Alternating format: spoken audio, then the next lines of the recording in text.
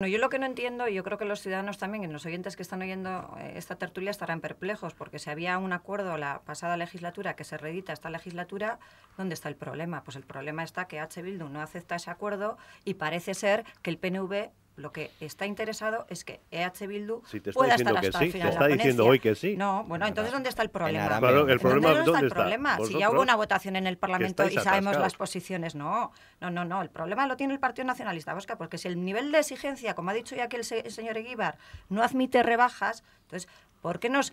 eh, exígele. por- No, no, no, no, Exígele. exígele tú En la también. ponencia, Yo- en la ponencia. en la ponencia, ah, pero vas- para estar en la ponencia tendrá me que aceptar un mínimo planteamiento si democrático que no quiere aceptar. Es que el, problema lo tiene H. Bildu eso más que una ponencia y parece ser que lo tiene el el derecho a PNV admisión, porque es el que- H. Bildu le está llevando al final a su terreno al Partido Nacionalista Vasco. Es que al final el nivel de exigencia que, tendrían, que, man- que tendríamos que mantener todos y que algunos seguimos manteniendo, no sabemos a día de hoy por qué lo está abandonando, abandonando el Partido Nacionalista Vasco. Si no hay que rebajar ese nivel de exigencia, entonces ¿para qué hay que reformular el suelo El ético, acuerdo señor que-?